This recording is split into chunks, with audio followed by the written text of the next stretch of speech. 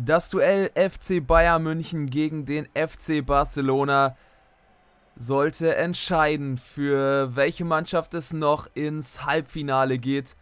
Beide Mannschaften respektieren sich auf allerhöchster Ebene und das merkte man dann auch hier zu Beginn dieses Fußballspiels. Es wurde sich abgetastet. Und ein von großer Vorsicht geprägtes Spiel startete.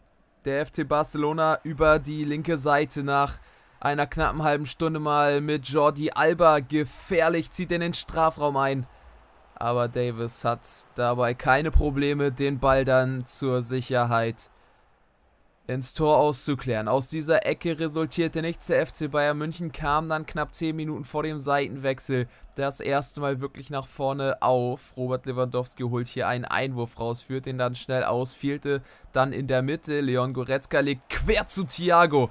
Und das war die erste richtig gute Möglichkeit in dieser Partie, die Marc-André Ter Stegen vereiteln muss. Ein sauberer Schuss, etwas zu zentral getreten und dementsprechend kann da Marc-André Ter Stegen fliegen und zur Show-Einlage klären. Die in weiß gekleideten Münchner, aber sie wurden nun besser. Auch Chelsea im Rückspiel, obwohl es nicht mehr nötig war, wirklich an die Wand gespielt. Und der FC Barcelona tat sich auch gegen den SSC Neapel schwer. Hier dann ein Foul unmittelbar vor der Strafraumgrenze nur wenige Zentimeter weiter in Richtung des Tors und es hätte hier 11 Meter gegeben. Eine Freistoßposition hier aus allerbester Position für Robert Lewandowski und Co. auch nicht die schlechteste Situation. Zweite Minute der Nachspielzeit. Barcelona macht sich da auf etwas gefasst. 18 Meter Torentfernung. Thiago legt aber quer, anstatt dass Lewandowski selber drauf schießt. Das macht das Ganze hier zu einer ungefährlichen Aktion und bringt dann das Duell ohne Tore erstmal in die Katakomben. Messi eben kurz im Anschnitt gesehen, komplett wirkungslos. Aber allgemein war es eine verhaltene Partie von beiden Mannschaften. Der FC Bayern wurde jetzt zum Ende hin der ersten Hälfte aber besser und offensiv gefährlicher. Springen wir in den zweiten Durchgang, der knüpfte dann daran an, wo der erste aufhörte. Der FC Bayern München machte es besser und bekam wieder eine Standardsituation aus dem linken Halbfeld. Robert Lewandowski luft den Ball rein. Da findet sich dann keiner auf dem zweiten Pfosten und die Situation verpufft. Der FC Barcelona nach wie vor ideenlos. Der FC Bayern war aber auch vorne mittlerweile mehr und mehr aktiv. Hinten ließen sie kaum etwas zu. Robert Lewandowski treibt hier an. Legt zu Thiago, der versucht selber. Muss vielleicht noch einmal querlegen. Und wir warteten auf die erste hundertprozentige Torchance in diesem Duell. Schon eine Stunde von der Uhr. Davis. Tulisso mit viel Platz, der steckt zu Lewandowski, Gnabry auf links von Thiago bedient. Thiago aber jetzt wieder im Zentrum aktiv. Tolisso, Thiago, Leon, Goretzka. Und da ist der Ball im Tor.